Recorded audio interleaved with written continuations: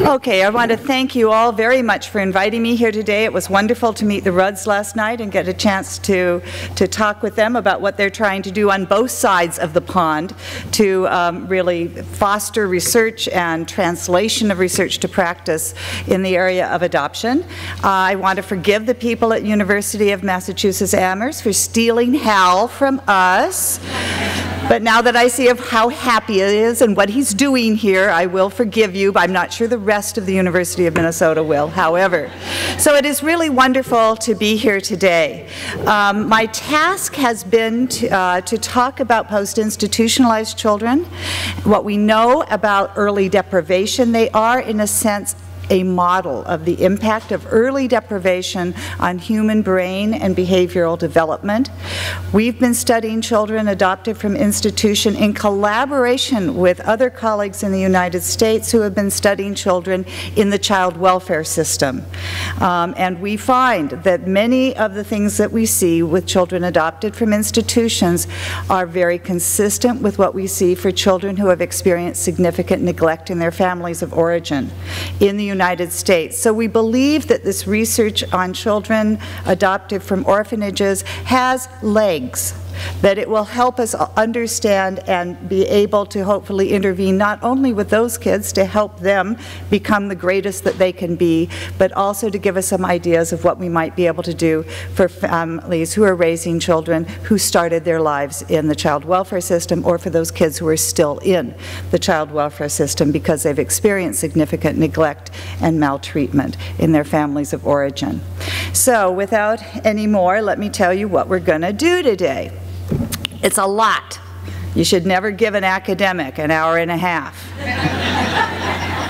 we'll see how far we get. So what we're going to do is we're going to talk a bit about how experience affects the developing brain. I'm bringing this information to you from a group that I work with called the National Scientific Council on the Developing Child. This is the group that did the review of what we know about early brain development and produced a report that some of you might know called Neurons to Neighborhoods back in the year 2000.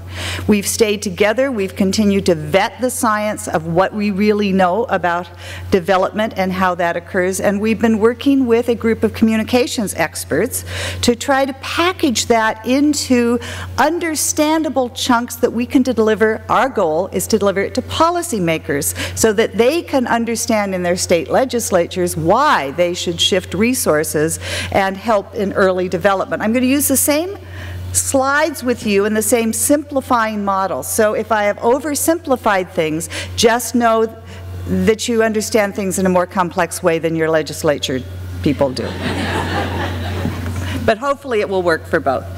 Um, I'm going to talk a bit about the sequelae of early institutional rearing on neurobehavioral functioning of post-institutionalized children prior to pu puberty. I'm bringing coals to Newcastle here because you have Jen McDermott who could give this part of the talk as well or better than I could. But it's critically important if we think in developmental terms, to understand what children are bringing to the teen years right? So we can't just drop down in adolescence. We need to understand how their functioning is uh, going before they reach those adolescent years.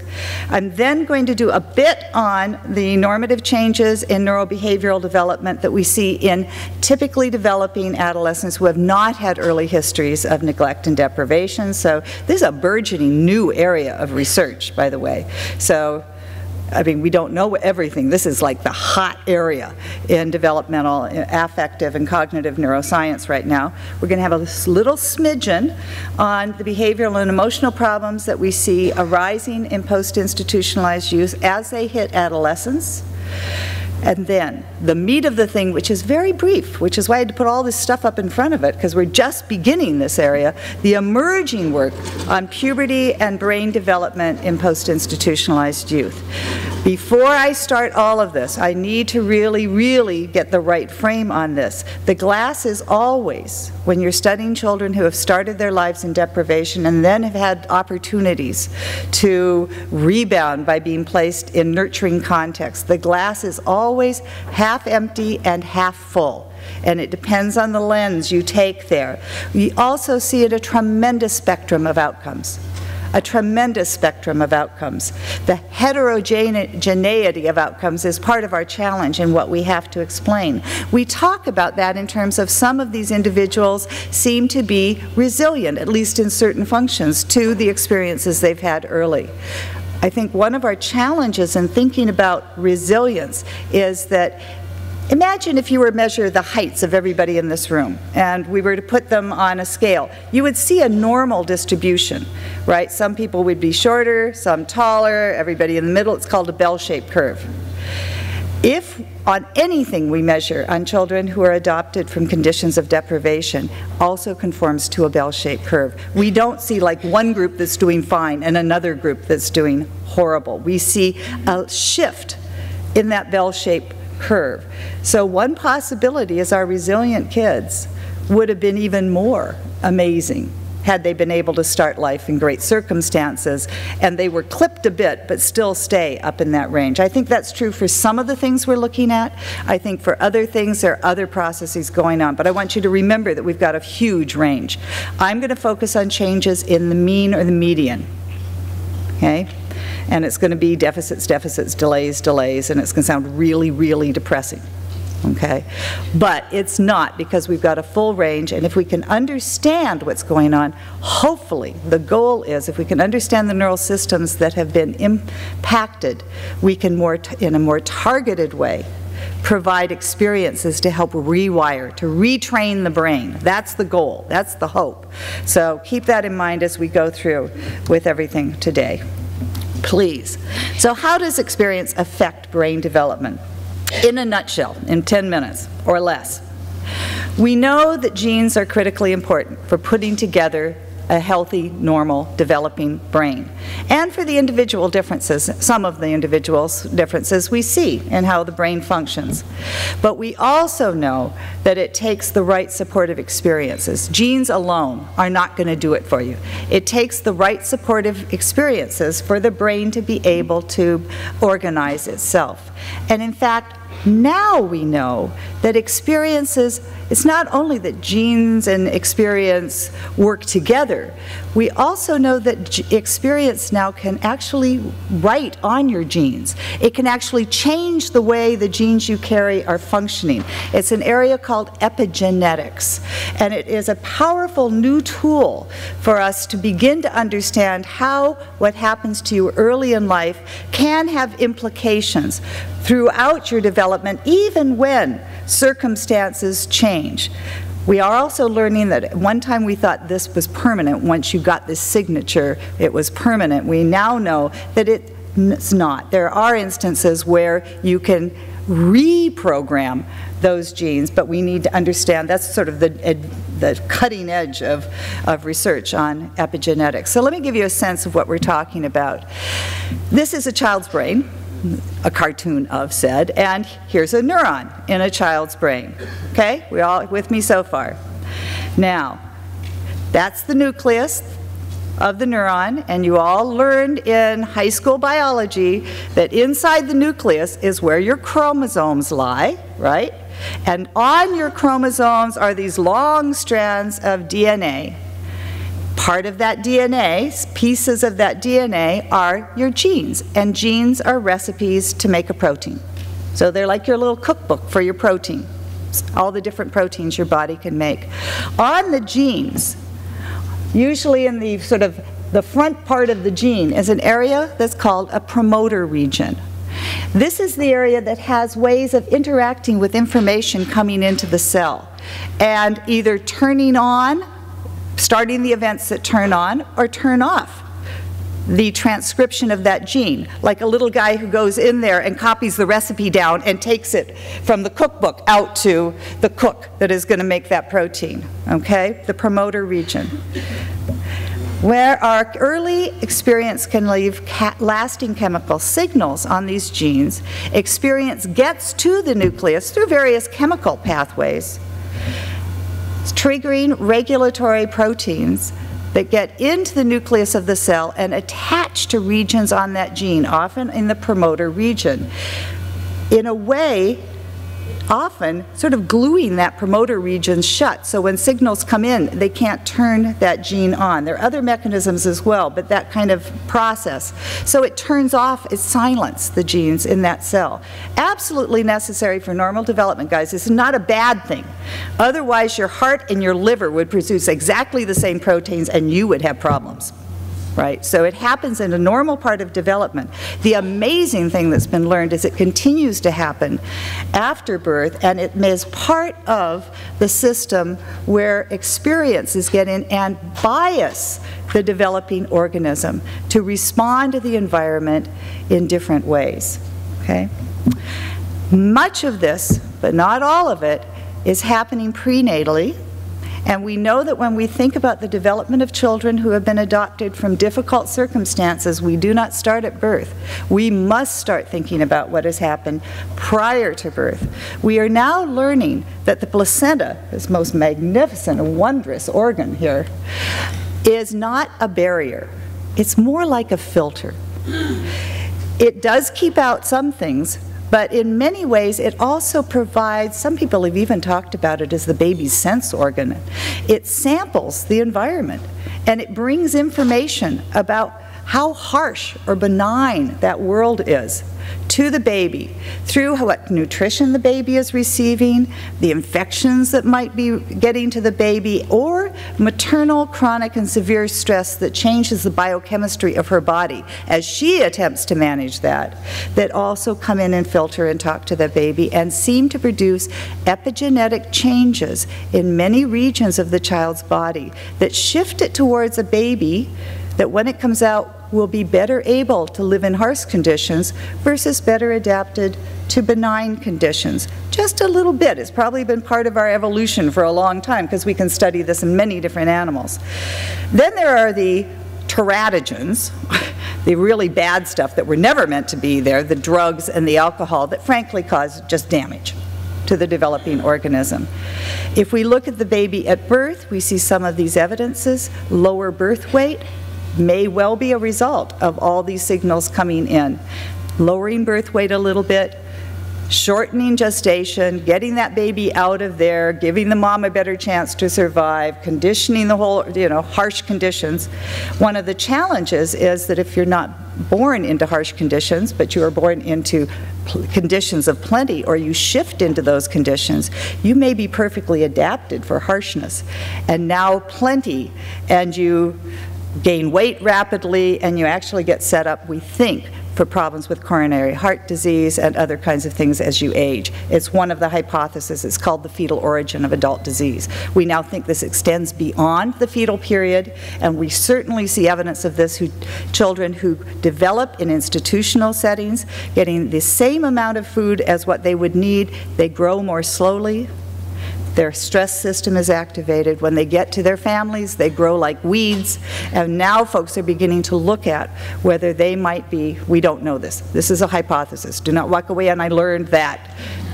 You didn't. You learned that people are curious about whether children like this may be at a slightly higher risk. Those who have been stunted in growth at adoption and grow really, really fast afterwards. Not getting porky or fat, but have this pattern.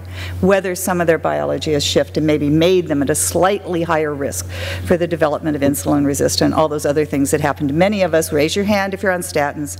Um, as we age, okay? And of course, we know we have to worry about fetal alcohol syndrome and fetal alcohol exposure and so forth and so on. We have to put that into our picture of thinking about children who have come from difficult circumstances as they go through and now begin to enter the teen years. Experience literally shapes the architecture of the developing brain. What you're looking at here is a slice from the prefrontal cortex, not obviously of a living child, but of a baby who has died. Some poor graduate student has sat there and looked at this under an electron microscope and carefully has drawn these. This is what it looks like at birth. The prefrontal part of your brain is involved in being able to do like things like arithmetic or plan a trip or all sorts of things that we ultimately call executive functions, not things newborns are known for being able to do, right? Right. And if you notice and look at this, you'll see that none of these nerve cells are really talking to any other nerve cells. They're not sending information. And in order for a nerve cell to do anything, they have to connect at synapses and transmit information. It's not happening at birth in this part of the brain. But under genetic control, boom, voila, zap, at a certain point in development in this part of the brain, there will be an overproliferation of connections. Have nothing to do really with experience. It has to do with the gene saying, now it's time, connect everybody up. But connecting everybody up is not very efficient because if you try to do something that it's spreading, I mean, you want efficient pathways. You get efficient pathways by using your brain. The brain becomes what the brain does. So the child who in this region, at these areas, is thinking about problems, who's working and solving problems, who's getting feedback that they're being effective, et cetera, et cetera, et cetera, they are confirming pathways that will be very useful, and the ones that they don't use will fall away. And by about 14, 15 years, we have a much more efficient brain. It's not done yet, guys. This whole process in this part of the brain is going to go on till you're 20. And then after that, it's all over. Um, now, it doesn't mean that once this is done, you can't form new pathways, but this is the brain's amazingly efficient way let everything connect up and then just confirm what works, as opposed to forcing the connections. When we try to retrain a brain in some regions, we are probably working on developing new connections that aren't there. We can do it, but it often takes much more focused attention, stimulation, and more practice. So that's the front part of your brain. This whole genetic program works different times in different parts of the brain, which, no duh, kids develop skills at different times, right? So what comes on first? The child's ability to see, to focus, to use vision and audition. And when we look at the back part of the brain, we see that overproliferation happening earlier and the pruning happening earlier. Next region, whoops, don't go backwards, go forwards, Megan. Then then regions that are involved in language and other uh, higher order thinking begin to develop and prune. And finally, those prefrontal regions I told you begin to develop and prune. What you're looking at, though, is the first three years is pretty darn critical for setting up many of the basic structures and functions of the developing brain. The brain has to be able to process information, has to be able to look at things, has to be able to listen to things, has to be able to reach out and touch things, has to be able to do things in order to get itself wired up appropriately, the basic stuff. And the other thing is, although we talk about this region does that and that region does that, let me tell you, in any complicated task, the brain is working together. And so if you set up a poor, sort of shaky foundation, it's hard to develop those skill sets that require later developing structures, they often are sort of a on a wobbly foundation. And things that we see starting as problems back here often end up in the brain looking like architectural problems in the prefrontal cortex as the brain develops. So experience matters for shaping the basic architecture of the human brain. It ain't over, ever. We can always retrain the brain. But the easy way of getting it well set up early begins to close off as we prune things, and we have to go to a different mode of training the brain. So I hope I've convinced you that it takes stimulation to develop a healthy, normal architecture of the human brain. And then nature's cruel and amazing trick. The human organism is born less mature than most mammals on this planet. A human infant cannot roll over, cannot get its hand to its mouth, cannot lift its head off the pillow, has to look at what is right in front of its face, and even its vision isn't very good, so it has to be pretty close so that it becomes clear. Nada, nada, nada. Left to their own devices, babies cannot provide the stimulation they need to develop their brain. Rhesus monkeys are in much better shape because they can locomote from birth, they can crawl around, they can do stuff. Human infants are there. Except human infants are known. Jen, is your child running your entire household now with every squeak and squawk? Where are you, Jen? She has an 11 week old? Where are you, Jen? Right there, right? Whole house is running by, baby's running the house, right? Absolutely. And that's because the human brain evolved to develop in the context of relationships. In the context of relationships, that baby is able to serve out information, I'm interested, I'm looking, and the world responds with stimulation. And be, through their interest, and they're crying when they're not interested, they drive stimulation. They're building their brain through the, in the context of relationships with parents, with grandparents, with brothers and sisters, and increasingly in development with other peers. They're building their brains through these relationships they have. Yes, you can act on the object world and begin to build the brain. But the amazing data, I mean, the, the human world is so much more resilient, responsive, varied, and it reacts. You know, you get tired of a toy, and until your parent figured out you're bored with this, that's all you got to play with, right? But a human realizes because you're fussing that you're bored and will change their behavior until they get their smile. We are we're, our brains are made to develop in the context of relationships. And this is why we worry so much about children who develop under conditions of deprivation in orphanages or in families where they're significantly neglected and spend a lot of time without this kind of relationship back and forth because they don't have the information they need to begin to set up that structure. Earlier is better. The earlier you begin to get to that, presumably the better off you'll be able to, you've still got plasticity going. The later you get there, the more potential there is for the need to restructure some of that, to do some, something more than just provide normal stimulation. So this is what we've been looking at. Of course, one thing we know about kids is they are just amazingly adaptive. They'll turn to the sun They'll find the stimulation that they need if it is possibly there. And when they get to families, they gobble it up. And one of the most amazing things is to watch children who've come out of severe deprivation as they get to their families and follow them over that first year or two. They grow like weeds. The ones who have been uh, stunted because of their experiences will grow one to one and a half times the rate of kids their age, and they'll start approaching what would be typical normal weight and height pretty darn fast. Whether or not that's Dana's talk, he can do it later. Motor development. Babies who haven't been crawling and they're 14, 15 months of age within, you know, a month or two months are walking. I mean, they just boom, Language development, if they're of the age, begins to come along very, very rapidly. Social development, too. We are finding they form attachments very quickly, even if they've never had an opportunity with any consistent caregiver. Social development is rapid, and most children who come out of conditions of deprivation within about two years post-adoption are operating within the normal range. But the normal range is large. It is a mean and one standard deviation. Within the normal range is 66% of the population. And we know from work like by the Bucharest Early Intervention Project looking at IQ, and this is very consistent also with the work Mike Rutter did in the United Kingdom, looking at children adopted from Romania into the UK, and very consistent with the findings of my own group, that yes, within, uh, actually we're finding within 12 months, most of the kids are within the normal range of IQ. But what that means is what you're seeing here is this box is the normal range for IQ, about up to 116 and down to about 76 points, okay?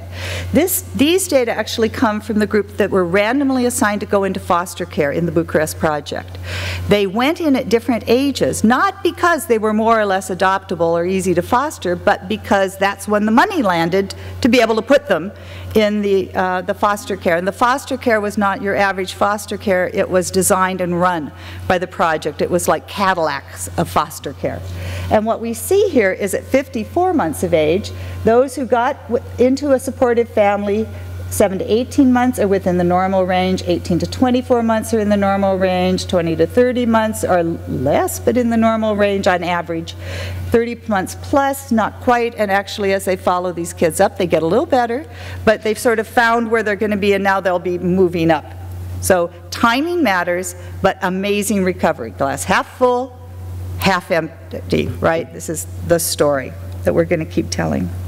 So, what I'm going to do now is I'm going to talk through a bit of what we know about the, the impact or the sequelae of early institutional rearing on behavioral development. I say neurobehavioral, but this part really is more behavioral development of post-institutionalized kids prior to puberty.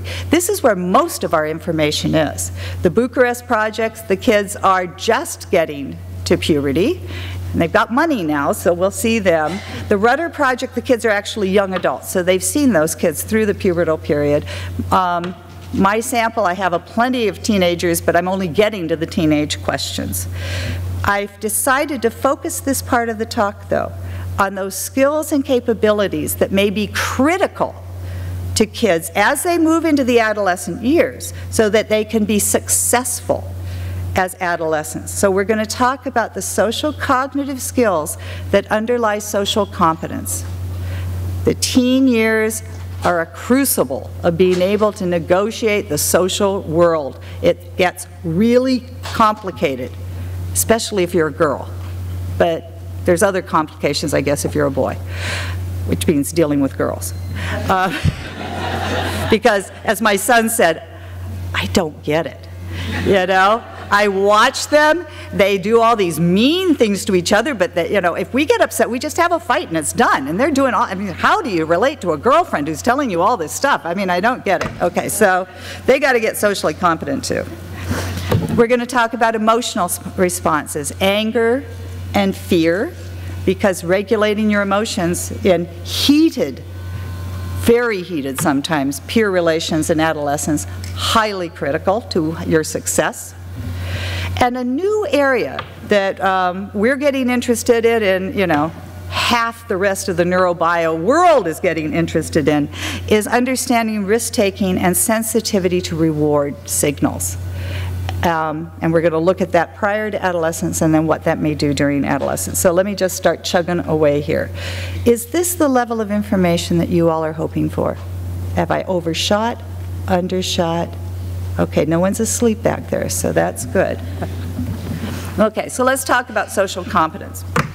Parents tell us that children adopted from conditions of deprivation often struggle being as socially competent as their peers. Now, I want to make it clear here that I'm not necessarily talking about popularity. I'm not necessarily talking about whether other kids like the child. Some of these children are just such sweet, lovely individuals that other kids really like them, even though their social skills aren't really that good. So social skills and competence and whether other people like you, they're related but they're not perfect. Some of our most socially skilled kids use it in a way that drives other kids away, right? To be socially cruel and do it well takes having a lot of social skills. It doesn't mean other kids are going to like you, though they may fear you, okay? So social skills and competence and popularity, being liked, and being happy with other kids are a little bit different things, so don't get them mixed up. So what are the building blocks of social competence? There are quite a few, but I'm going to stick to these. Reading and understanding emotions in others, okay? It's actually a complicated thing to do. Peak emotions are pretty easy to identify, but we often see blends. There are mixtures of emotions. As adults, some of us are really good. We're called clinicians, I'm not one, uh, at reading the emotions in others' faces and body gestures. Others are a little more clueless. They're called physicists. I'm married to one. Um, so there's a normal range of this. It's not like we all get to be perfectly adapted on this. There's a range, and we'll talk about that.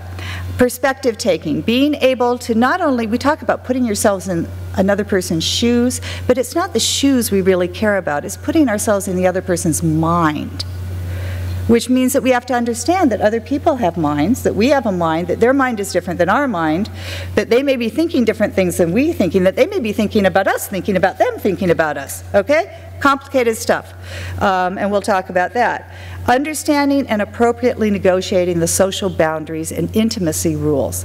This takes, first of all, identifying other people as appropriate intimates versus people I don't know, right? Step one. Babies get to this early in development when they start developing wariness of strangers. They clearly show, they know these are my people, you're not one of my people. You might be a nice people, in which case I'll hide behind mom's leg and be coy and smile at you, right? But you're not my people. So they get that early. Once they've gotten that, they develop an understanding of what the rules are within our culture about how you treat intimates versus how you treat strangers. Cultures differ in how close you stand when you talk to someone you don't know, right? We have cultural variations in that. So you have to know when to use those, you have to know what the cultural rules are, and you have to use them appropriately, right? Because there's nothing wrong about holding hands, hugging, kissing people, telling them your deepest, most inmost thought. Perfectly appropriate. We do that with intimates. So it's not the behavior that's wrong. It's you have to learn when to use that behavior. And that, for those of you who understand this thing called executive functions, sounds a load like executive function. We have to use our executive abilities to know when to engage in behaviors, and we have to be able to identify this, the cues that tell us. So understanding and appropriately negotiating social boundaries, and then the ability to regulate our emotions and our behaviors. So you might understand, but unless you can regulate, you got a problem too. Okay, so reading and understanding emotions in ourselves and others, surprisingly long developmental progression to a true adult competency. We can take kids, normally developing kids, lots of, you know, not deprived at all, they're 13 years of age, 14 years of age, you show them pictures of emotional expressions, and they're still having a little trouble telling so without any other cues like the context or you know movement or anything telling the difference between some of the negative emotions surprise and fear are sort of close. We can get those mixed up. Sadness and you know so the negative emotions well we can tell happy easy. Happy is easy. Everybody gets happy. We get happy early. But distinguishing the negative even as a young teen we're still learning some of that stuff. So a long time to really get to adult proficiency and then a lot of variation among adults. Several years after adoption, we know around age five, children who have come from institutions in Russia and Eastern Europe, this is work of Seth Pollak, have difficulty in identifying even, even peak emotions. And they have real difficulty in figuring out what emotion goes to what context. So a little kid who's lost their, their ice cream on the ground, what face what emotion phase should go with that. They struggle with that. Jen is just publishing a paper, right, on eight-year-olds uh, of the kids from the Bucharest Early Intervention Project that suggests that by eight, after they've been out for longer, they're getting pretty good at that. They may not be able to do certain high comp, comp but everything you tried, am I right? Did I read your paper? Everything you tried, they were doing pretty good at, right? Pretty good. The foster. The foster kids had come back. So this may be an area that is either spared or can really come back. On the other hand, when we talk to parents of eight-year-olds who have adopted internationally, they're still telling us their kids have trouble interpreting the emotions and behavior of other kids. So it may be that in more complicated real-life circumstances they're struggling. And no surprise if they're struggling with that, their parents say they sometimes have trouble being considerate of other people's feelings. They're probably still a bit confused or maybe a little behind their peers in the level that they should be at. Theory of mind. This is this perspective-taking thing. It's called theory of mind. You, we develop our theories of people's, of our own mind and other people's mind, which is why it's labeled that way. This is the core deficit in autism. This may be why impacts on the development of the neural systems that are required for this kind of perspective taking may be why some children who come out of institutions become labeled as having autistic-like features, one of the components. We do know that this is an area that is at least delayed and for some children post-institute is seriously impaired. We also see problems with this in kids growing up in their families of origin who have been severely neglected theory of mind. One of the tasks that we use for this is called the false belief task. So you're told a story, you see a story about a little boy who sees his mother baking a cake and um, something happens and I can't remember the whole, you can do it in many different ways, but he sees that, his sister doesn't see it, his sister comes in the room, you ask him what the sister knows, and young children, three and four-year-olds, think, she'll know exactly what I know. She'll know that there is either, you know, something in the cake or where the cake got put or all the rest of that. By the time typically developing kids are five, they know she doesn't know squat because she wasn't there. And what we see for children from institutions is by age six, seven years of age, they're still performing like the four-year-olds. They're struggling to engage in this task. And others have seen this as well. The Rutter Group has seen it, even with kids who are on the cusp of adolescence, they're struggling with these theory of mind tasks. Now, theory of mind can be used for good or ill. You need to be good at this to be really good at deceiving other people. You need to be good at that to be really good at being socially cruel. Now, you can lie and you can be socially cruel, but to be good at it, you have to get into other people's heads so you can manipulate their heads. It's also, of course, important to avoid it used so you can avoid being deceived yourself and being manipulated and it's important skill to have if you really want to be empathetic and understand somebody who is different from you. So again, skill and competence, not necessarily making you a good or bad person is how you use it. Uh, but it's a skill you need if you're going to get into this complicated teen world, especially the teen girl world. Really requires that. Understanding and appropriately negotiating social boundaries. This is the area that in post-institutionalized kids we call indiscriminate friendliness. Responding to friendly or neutral strangers as if they were your intimates, people you had known all your life. We know that it is neither completely indiscriminate, they pick out nice people, and it's not really friendly. They're not really interested in the other person. Um, this is the one that we believe that in institutions, kids developed as a really important way of getting their needs met. Any buddy who comes into that unit, they're running up to mama, mama, mama is the heartbreakingest thing that ever happens to you, is walking into those places. Um, and they do get picked up, they're getting some social attention through this. So it's been argued that the reason we see this is because they've learned this behavior, and it may be true. But when we see kids who come out of institutions, a lot of them are showing it one or two months after getting to their family, and then it just drops off like a rock for most of them. By eight months post-adoption, we barely see any of it, except in some kids. And in those kids, it seems to stick around. We've been doing work on trying to identify, can we tell a difference in the behavior that would predict for us that these are the kids that might need intervention early? And we think we see it. It's the kids, I mean, kids range in sociability, right? If I got a two-year-old in this in a room, she might be or he might be very friendly to me, talking at me, uh, uh, understanding my mom's side or dad's side, yakety yakety yakety talk talk talk, or very shy. Normal range. We see a normal range in our post-institutionalized kids in that kind of behavior. What differs is the ones who go on touch. By 18 to 36 months, kids have learned the rule, you don't touch people you don't know. You don't climb in their lap, you don't swat them on the butt, you don't do those kinds of physical things. And the kids that we see seem to be keeping it are showing physical intimacy eight months post-adoption. So we're looking at cues for that. But most of the kids, it does resolve.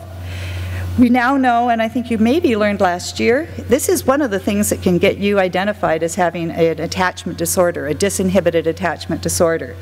You go to a therapist, the kid's got some problems, they see that you're very, the baby, child is very friendly with the therapist even though they never met them, climb in the lap. They say, clearly this child hasn't formed an attachment to you disinhibited attachment disorder.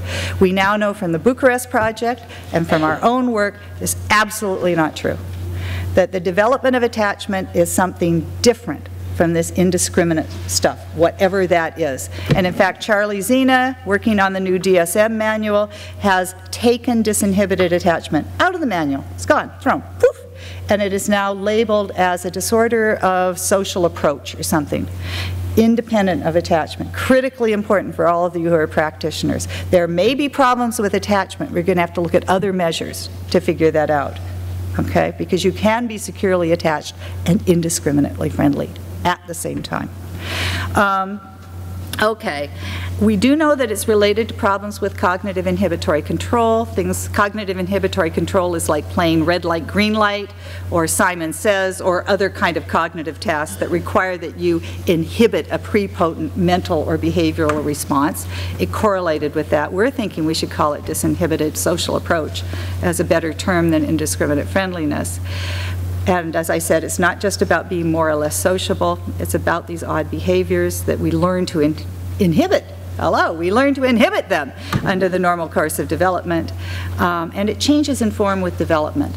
Uh, by the time you're getting to teenagers, the kids aren't coming up to strangers and climbing in their lap, but they're often coming up to them and talking to them about inappropriate things. Is that a baby in your belly? Um, it, sharing too much private information. I peed in my bed last night. Um, and pestering. They don't read the social cues. You know, the fact you're picking up your papers as an indication we're done now, I'm your teacher, it's time for you to go sit down. And so the person has to say, you must leave now. So they're not reading those social cues. It's a boundary issue, uh, seems to be more than anything else. Okay, I better move on here. Um, anger and aggression. For a long time, we thought if post-institutionalized kids were like kids who were in the foster care system who had been maltreated and neglected. One of their big problems should be externalizing behavior problems, aggression, conduct disorder, et cetera, et cetera. We know from the work of Mike Rutter and from our own work and a bit from the Bucharest Project, though they are saying a little bit different at age five, is that aggression and conduct problems are not the big problems of post-institutionalized kids. They're not the big problems either of kids in the foster care system if they get early into solid, good families. Like the canary in the coal mine, in young children, pre-adolescent, these behaviors often reflect the fact that they're not getting well cared for, and they're acting out as an expression of a need for a safer, more secure environment. So a powerful effect of getting into families is we don't see much of that behavior. They're not more aggressive with other kids. They're more victimized, but not more aggressive. Um, and they are, um, they're not stealing and do other, they may be stealing food. That may be a whole different issue about hoarding and things as something else. But they're not hanging out in little eight-year-old gangs, okay? If anything, they're the victim of the eight-year-old, the eight-year-olds who are more bullyish. They do have problems with emotions, though. They tend to melt down when they're frustrated or they're intensely. So they have emotion regulatory problems surrounding anger, parents tell us. Not all of them. But if they have an issue, that's where it is. And they are more fearful. And the kids tell us this. Every time we try to measure it, PI kids come out explaining that they've got more anxieties and more fears. They're not necessarily telling their parents about these anxieties and fears. Many of them center around separation anxiety. Let me show you some data. These kids are eight and nine years of age. We've done interviews with them on their emotions and their feelings. This is sad and lonely feelings, a set of scales that score that, separation anxiety and general anxiety. There are three groups in this study. There are kids adopted from institutions. They're all adopted over 12 months of age and before five years of age, and they have to have spent 75% of their lives in institutions prior to adoption for us to call them PI kids, because we want to be looking at kids with a lot of that experience. We need an adoption comparison group. In so much of the work, there's no adoption comparison group. In the Bucharest problem, they have a care as usual group, a wonderful group for a comparison, but in many studies, it's just non-adopted kids. So we need an adoption comparison group. And for us, our comparison group are children adopted early, under eight months of age, from foster care overseas. So they've had a family environment, because that's really what I'm interested in looking at. Kids who have grown up with or without a family environment early in life.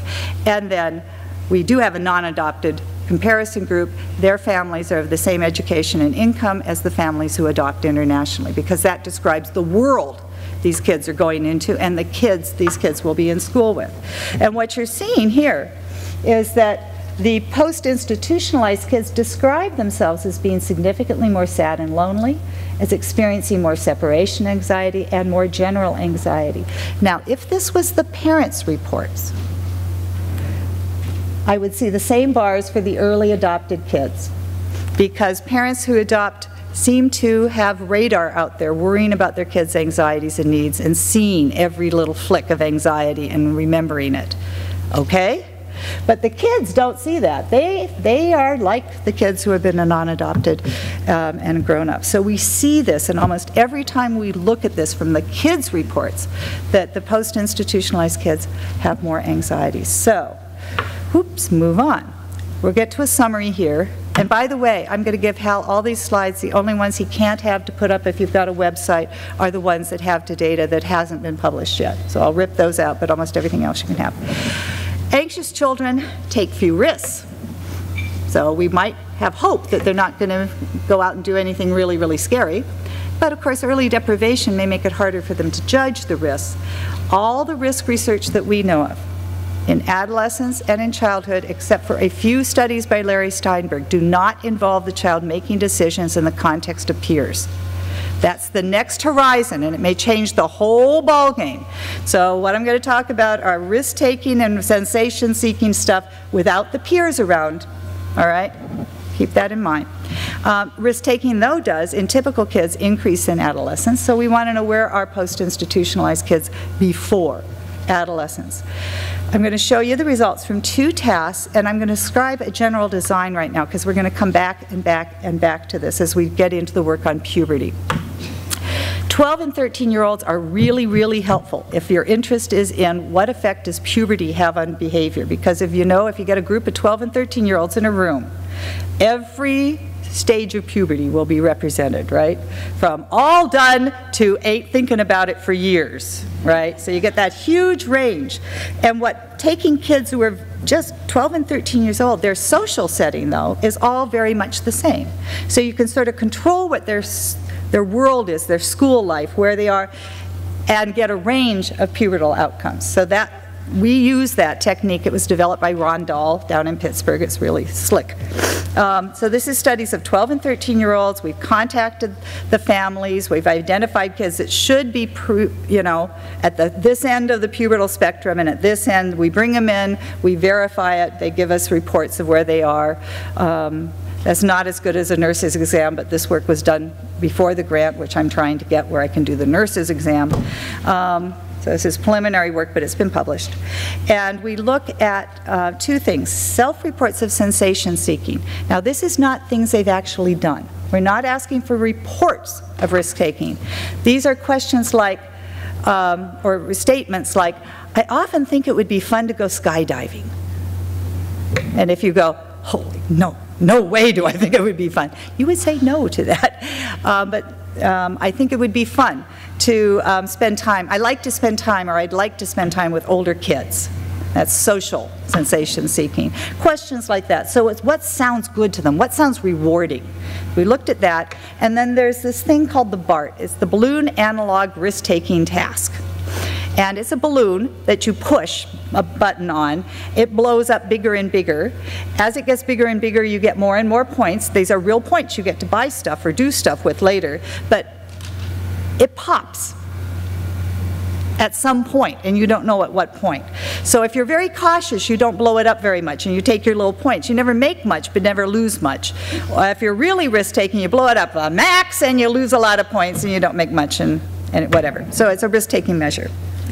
These are the data from the study on the kids who are pre-early puberty. We're going to get to the pubertal stuff later in the talk.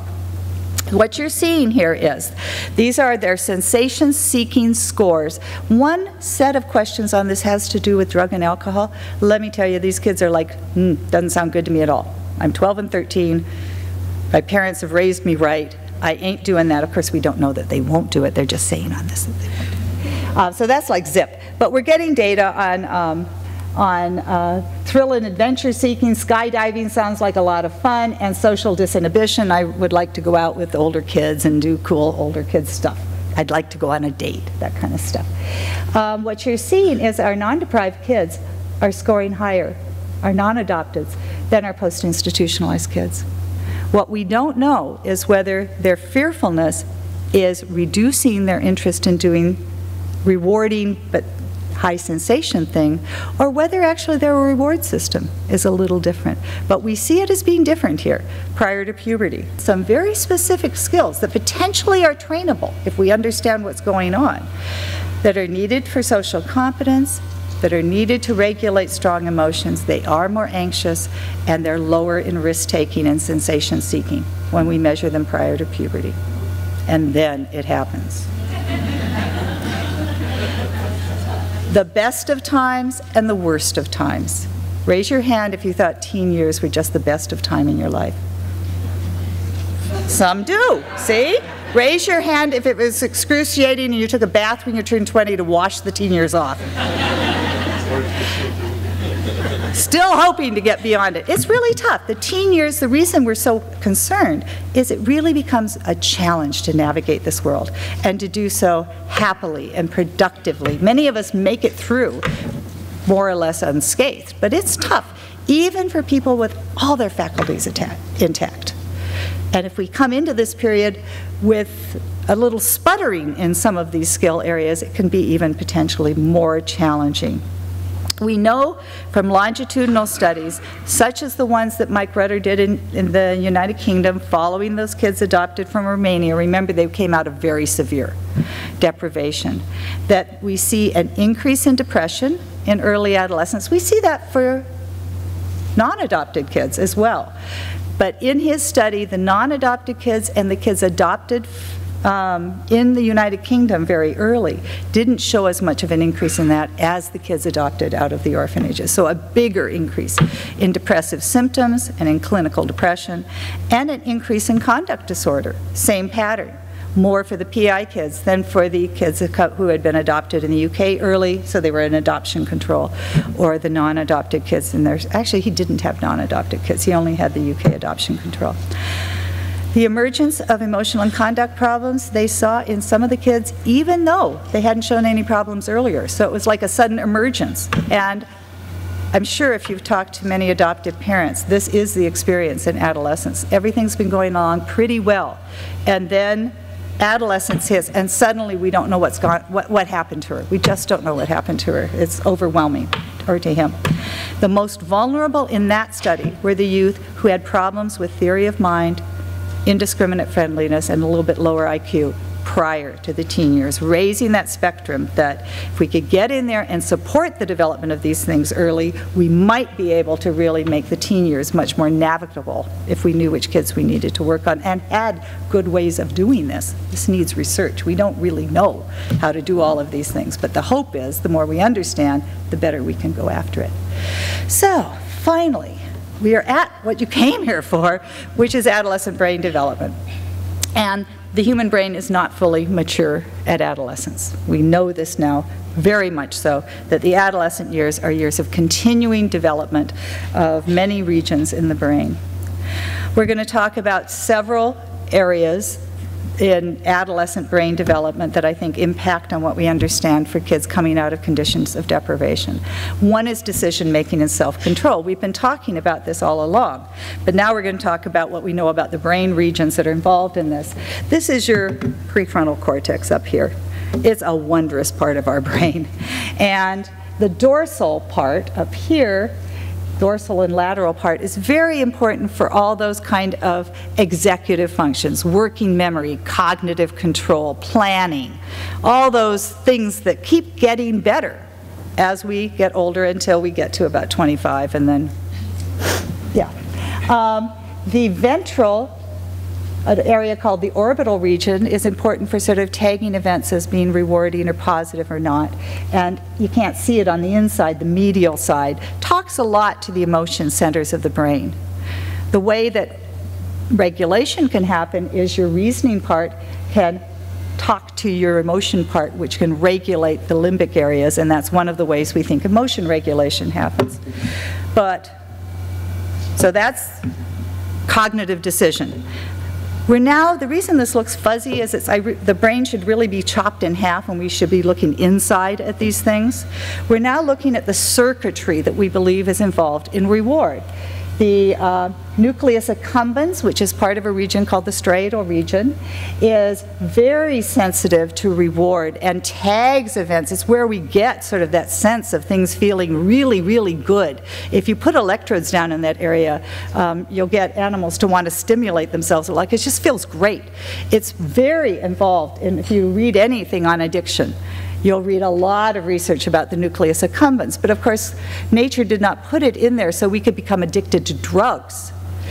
This region is critically important so we can become really oriented towards the good things in life so we can form attachments, so we can identify situations as having many good things for us, okay? And so we can tell our hippocampus to remember those good things and to remember the context in which we experience those good things. In the addiction research, this is why. When you walk, if you've given up smoking and you are doing great, and then you walk into a place where you used to smoke, your memory just all is triggered about, and you're just like, oh my God, I want to smoke, I want to smoke. Okay, so talks to the hippocampus, retains the information about the context. Dopamine, my favorite neurotransmitter, I could live on dopamine, because it is part of all that reward system and focusing of attention. Um, a reward system that we're beginning to understand. Okay, it's on the inside there. If we look at adolescents, no surprise here, and we test them on tasks that require rational decision making and cognitive control, they get better and better and better at this across adolescence, right? They get better at these kinds of things. And if we look at the brain, we see that that should make sense because what we're seeing here is gray matter volume. Red is lots of it, and we get less. Remember I told you you're proliferating, then you're pruning in these areas, those nerve cells. And if we look from age five, we see that actually you're beginning to get some pruning, getting bluer. We're into the teen years. You're not done. You're getting bluer. You're getting, you're pretty blue. You're pretty done with the pruning. So these regions, these dorsal and lateral regions, are getting more and more efficient at thinking and reasoning with adolescent development. Okay, step one. The reward system, however, might be doing something else. And this is a theory by B.J. Casey. It's accumulating evidence. The suggestion, the evidence is that that reward system goes through a temporary period of hyper activation. It revs up, maybe with pubertal hormones. We don't know the answer there. It wow, things are things that weren't rewarding before are now really, really rewarding, and you get drug into potentially doing things for their reward value, and it outstrips your rational decision making. Which may be why very reasonable, rational teenagers can do really stupid things. Right? And some of those things can have very damn, I mean, if you live through these, you're going to be okay.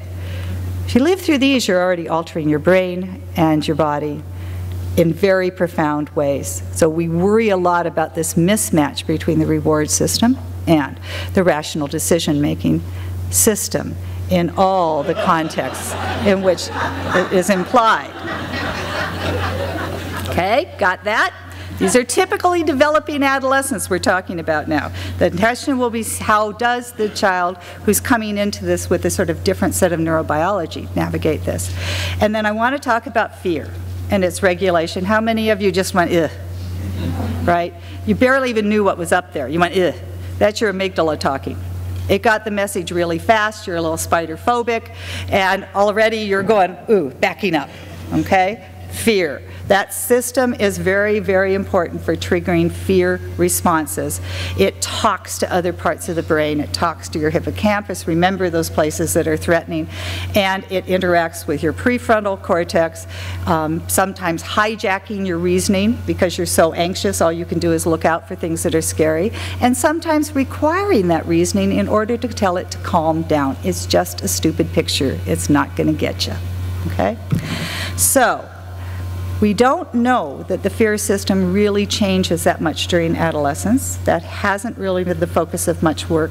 But we are very interested in how it may, sex hormones may reorganize how the amygdala is functioning and the kinds of things that it is processing, creating a little bit more of a female orientation versus a male orientation towards things, what is threatening and dangerous.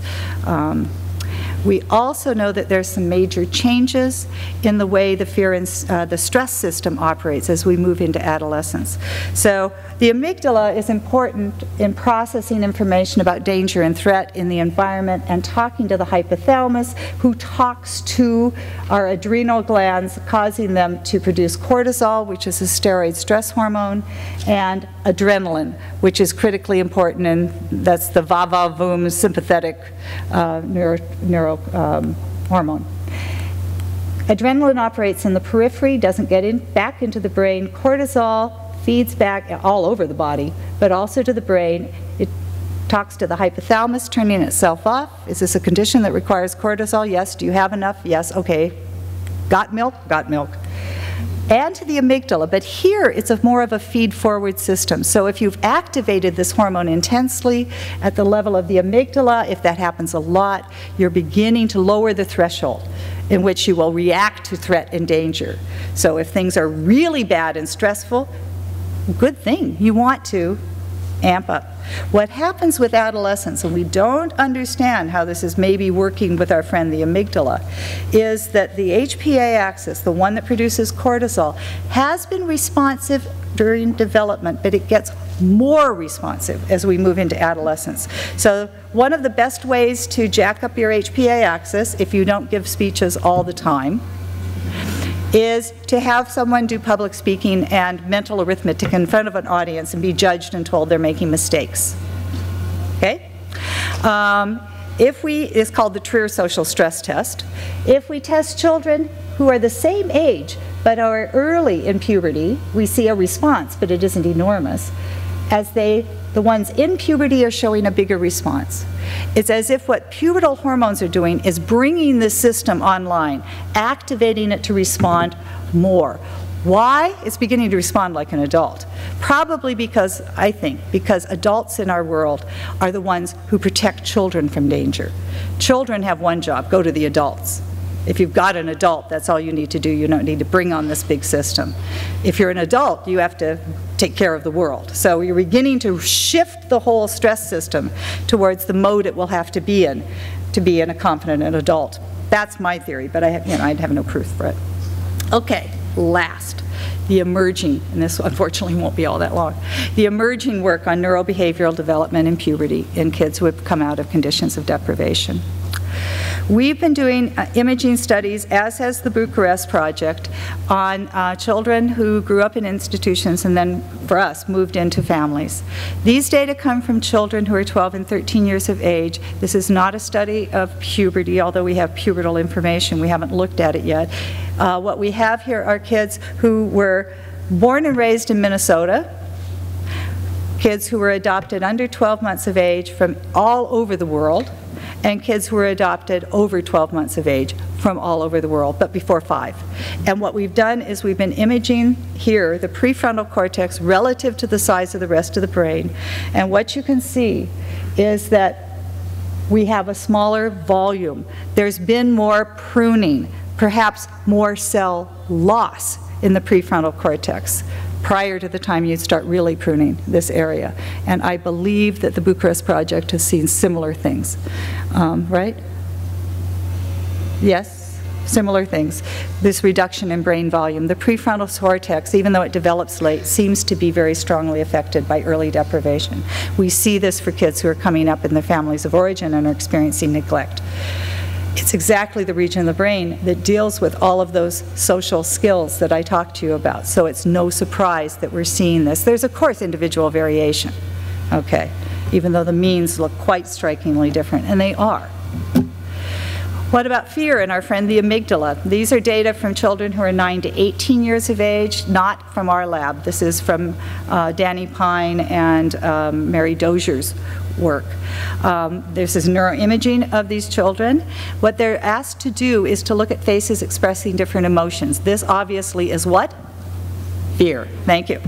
Um, and they're told, on some runs, they're told to measure, to think about how wide the nose is. They're measuring the width of the nose. So a cold cognitive task. On others, they're asked to, how does this face make you feel? And they say angry, uh, fear, neutral, and sad faces. And what they're looking at is how much does that amygdala, that emotion center, light up? How much blood is it requiring, which is an indication of how much activity it's engaging in. And what they see in this study is um, comparison youth, and these are kids with a history of deprivation. They either come from orphanages overseas or they're neglected in their families of origin. So it's a mixed group. And what they see is for both angry faces and fearful faces, the threatening faces. The children who have had deprivation early in their histories, they're 9 to 18 now, well beyond that. the amygdala is acting up more, it's lighting up more, it's detecting it more. So here these kids are in adolescence, at least, but it's a very small study.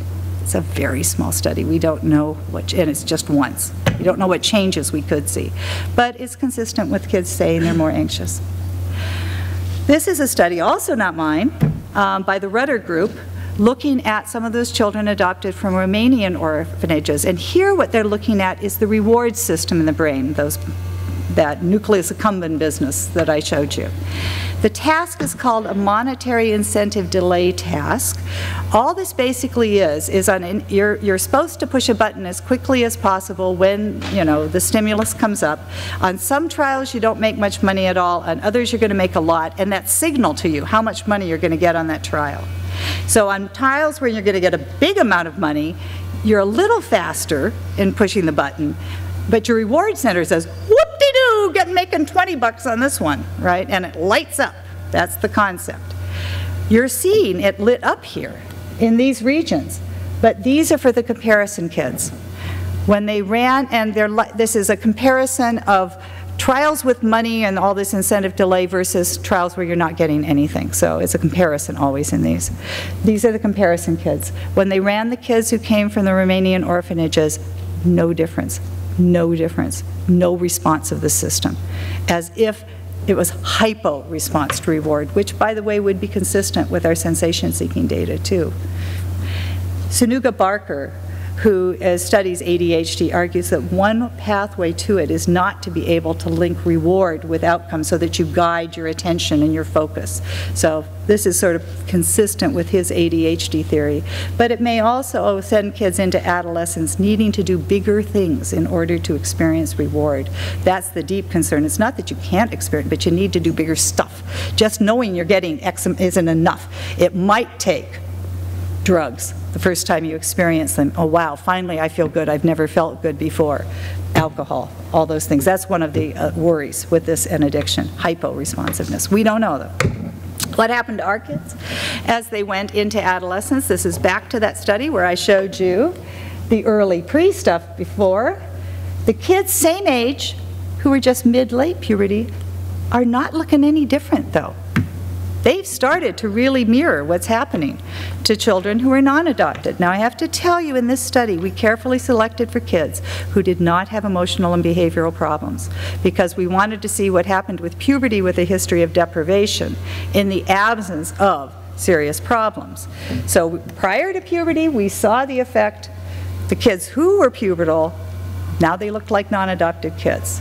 There's a possibility that for some of these kids, especially those who are doing well and not experiencing a lot of stress, that they've got an opportunity to reorganize. The BART, however, tells me that it's not working there because there you can see what happens to our non-adopted kids. They're showing an increase in risk-taking with puberty, even though they're the same age. We aren't seeing much of that in our PI kids. So this is real research. You can tell because it doesn't tell a coherent story yet. Nature has tricks up her sleeve that we still have to figure out. Back very briefly to this whole issue of a changing activity of the stress system with puberty. These are typically developing kids. This is Laura Stroud's data to show you that not just me, Laura also finds that when you do that speech task, whoopsie do, when you do that speech task, if you're pubertal, you show a bigger response than if you're a younger child. And she has this great peer rejection stressor um, that she uses, and we can see that, yes, adolescents show a bigger hormonal stress response to that than do children. So the HPA axis, more stress hormone, potentially putting kids at risk if things are bad for developing fears, anxieties, and depression. That's the theory, but also, obviously, nature needed it to be happening. When we look at children adopted from conditions of deprivation, if the deprivation has been severe, we see a shift in the functioning, the amount of cortisol those kids are producing, even under non-risk conditions. This is data that we have on kids adopted from Romania into British Columbia. These kids were, the green one, the yellow ones were adopted under four months of age. The green ones are Canadian kids growing up in their families of origin. So it's not just coming out of a Romanian orphanage. It's coming out and getting to a family at eight months or later that seem to be raising their average levels of cortisol. Now, I've done a lot of this. The later information is a little more confusing. Some kids look like they're elevated, and some kids look like they're actually low. So we've been trying to figure out, and Dana's been helping us figure out what might be going on, and the place we went wandering was in growth delay. And the reason we wandered in growth delay, because kids vary in how stunted their growth is as an adoption, is that we think most of that delay in many kids is not about malnutrition. It's about the stress system talking to the growth system. Because the way we have evolved is if you are under chronic stress, you want to keep your energy for dealing with threat. And you don't put your energy into things you can do later, like grow or repair. Okay? So there's a, let me talk to you about your growth system. This is how your growth system works. You've got in your uh, hypothalamus a region that's going to produce growth hormone actually produces more of it at night, so kids do grow overnight an inch sometimes, maybe it seems like. That talks to your liver that produces this thing called insulin-like growth factor 1 that talks to the bone plates and gets your bones to grow longer and talks to your muscles and helps you develop strong muscles. There's two things that control this. There's a releasing hormone that steps on the gas, and there's this thing called somatostatin that steps on the brake. And it plays this sort of gas brake kind of thing in terms of producing the growth hormone. Corticotropin releasing hormone that starts the cascade to produce cortisol talks to somatostatin and chunks it up. It pushes on the brake up in the hypothalamus to reduce growth hormone production Cortisol interacts at the level of the uh, liver to reduce the liver's sensitivity to growth hormone. So at two levels, your stress system can turn down your growth system, presumably preserving energy to deal with infections or other things that might be happening to you. So we think that in many kids, the growth, stunted growth we see at adoption is a reflection of the chronic exposure to chronic stress. So we began to look at growth as an index of potentially how stressed the child had been pre-adoption. And what we began to see there was that the children who had been stunted at adoption and grown rapidly thereafter were producing way more of that hormone than the average kid. And the ones who hadn't were actually low in hormone. So we've been tracking that. But notice in this study, I'm sorry, I am almost done. You'll have time to ask questions. The kids are 9 to 11 years of age. They're prepubertal. Almost all of them were prepubertal. We still don't know what happens at puberty, but we have a hypothesis. And we call this the pubertal stress recalibration hypothesis. The idea here, and I hate to keep turning away from you, um, but I'm going to have to, is let's start down here. This is brain development, neuronal development, probably of the hypothalamus, really focusing on that. Early in life, there's a period of intense plasticity where what you experience gets embedded here and biases the system towards anticipating harshness or more benign conditions. If you grow up in harsh conditions, that gets embedded here and we produce sort of a more hyper-responsive system. Then there's this period of stability after this early period where the system doesn't change. And then we think with puberty, you open up another period of plasticity. And then we become more stable. If you're under harsh conditions here, you get set for that. You retain that for a long time till puberty. If you're under benign conditions, if you're not dealing with psychosocial stress, you reset to that level. If you are, you maybe become even more hyper. That's the theory. Looking at those children who did not have emotional and behavior problems, we looked at one aspect of the system, which is this response to waking up in the morning.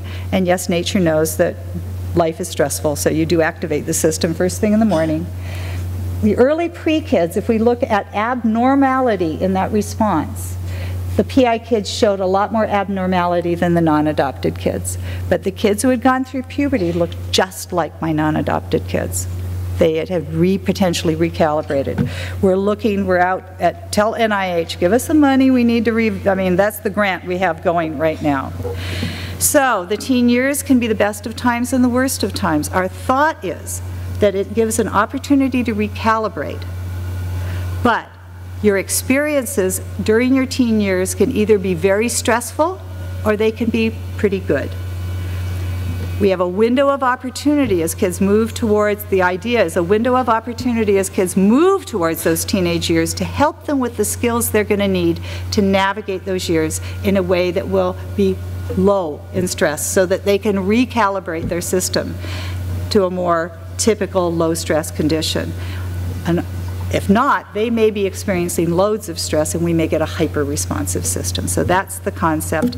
I don't think I need to summarize all of this because I think you might have it or I'll leave it up here and you can look at it. I'll come back to it. There are loads of people to thank. I won't go through those. You can see them on the thing and I think I'll give you a few minutes now to ask me some questions. Sorry it took so long.